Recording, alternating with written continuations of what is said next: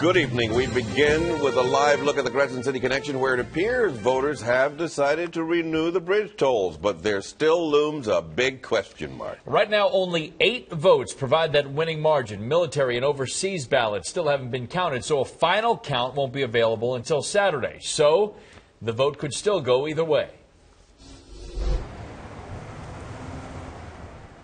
Initial results Tuesday night showed the extension of the tolls being voted down by 800 votes. But after early voting numbers were added in, 26,000 ballots, the tables turned and the tolls had new life, provided by the slimmest of slim margins, just eight votes. The initial purpose of the toll was to pay for the bridge, and that's done. And at this point, I don't really see what uh, I'm paying for. If uh, people are uh, not using the bridge, I don't believe that they should be paying to keep it up. Split opinion on a ballot that generated plenty of voter interest, president, constitutional amendments, and the tolls.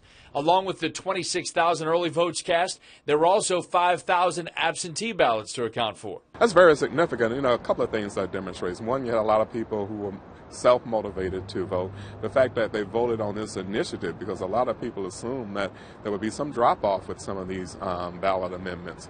And in, in this particular case, they did not have a significant drop off. So voters were paying attention. And Orleans Parish Clerk of Courts Arthur Morrell says the large number of early votes slowed down the entire process. We had to have a paper copy.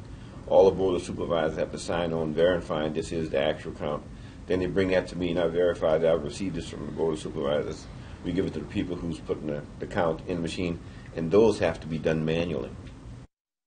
So it's a process. And after more than 300,000 votes were cast, the difference again is eight votes for now. The Board of Supervisors of Elections will open the outstanding military ballots at City Hall Saturday morning. They don't know how many of those ballots will come in. And again, a final tally expected later in the day on Saturday, Norman.